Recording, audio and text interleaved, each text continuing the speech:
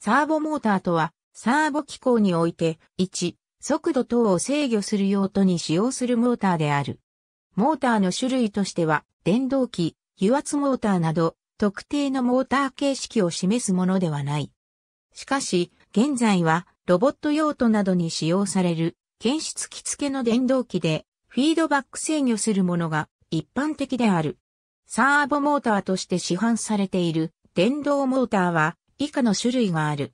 サーボモーターの動作をフィードバックするためには、各種検出装置によりモーターの状態を検出する。この検出装置には、以下のような種類がある。サーボモーターを制御するためには、サーボアンプ、シーケンサなどの制御装置が必要である。制御装置は位置検出装置から得られた情報により、現在位置信号と目的位置を比較する。そこで差がある場合、モーターを目的位置との差分を減少させる方向に動かす。こうして目的位置との差分は減少していく。この手順が繰り返され、最終的に目的地に到達するか、許容範囲に入るまで続けられる。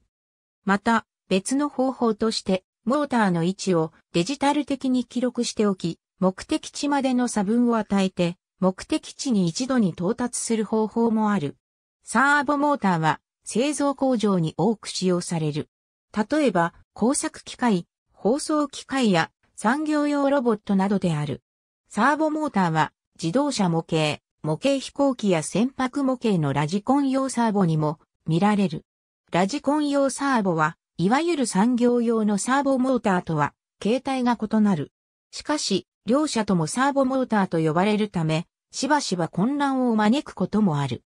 ラジコン用のサーボモーターホビー用途で市販されているラジコン用のサーボモーターといった場合には、電気駆動式で制御基板、モーター、ギアボックスが一体化され防塵ケースに封入されたものであることが多い。インドアプレーン用など重量が数グラムしかない超小型製品の場合は、基板やギアが剥き出しのものもある。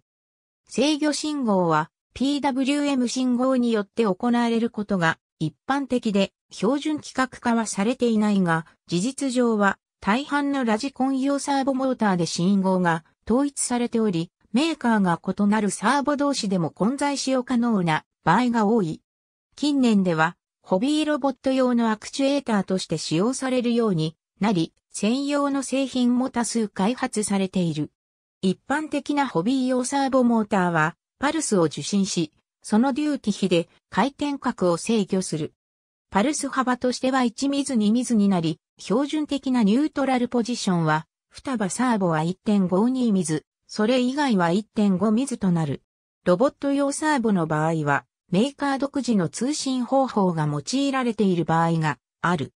サーボの動作原理からハンチングと呼ばれる現象が発生することがあるが、サーボの保持力を下げることで改善できる場合がある。通常のサーボ機構、回路に加えて、状態確認用に電流センサや温度センサを備え、それを伝えるシリアル通信回路を内蔵している。通信にはパケット通信が用いられ、双葉のコマンド方式サーボであれば、以下のような書式になる。ヘッダ ID フラッグアドレスカウントレングス、データチェックスム。コマンド方式、PWM 方式のどちらの信号でも制御できるサーボもあり、電源投入後に送られてくる信号で自動的に決定される。主に研究開発用やホビーロボット用に開発された。ありがとうございます。